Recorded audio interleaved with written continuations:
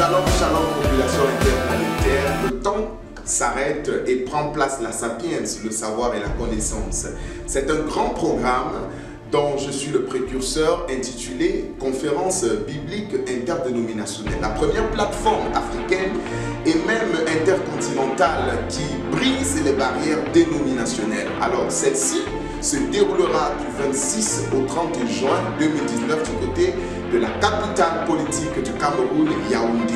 Nous commencerons de 10h à 12h par ce grand programme intitulé Preuves scientifiques la Bible et même du christianisme. Cet espace est appelé Université libre de la parole. C'est une plateforme où nous aurons un grand nombre de professeurs d'université, de chercheurs scientifiques qui vont répondre à tant de questions. Est-ce que la Bible n'a pas été falsifiée? Est-ce que la Bible est vraiment la parole de Dieu? Est-ce que Jésus-Christ a vraiment existé? Nous allons naviguer comme ça dans la science, dans l'archéologie et même dans les preuves historiques pour démontrer la véracité de la parole de Dieu. À tout amoureux de la connaissance et de la sagesse, Dieu en est invité et en plus, c'est gratuit.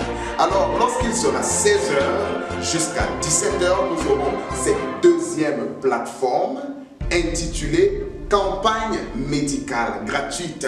Les preuves de l'évangile ne sont pas que dans le sens de la puissance ou de la connaissance, mais c'est aussi dans le sens du social. Dans cette plateforme, nous aurons environ 10 spécialistes médico-sanitaires qui feront des consultations gratuites et nous ferons des prises en charge sociales. Venez très nombreux. Ce n'est pas tout. De 18h à 20h, nous aurons un espace de démonstration de puissance Dieu. C'est une croisade dans laquelle, comme ça, ce qui a dépassé la médecine, ce qui a dépassé les praticiens, ce qui a dépassé les normes de la société seront défiés par les lois du surnaturel.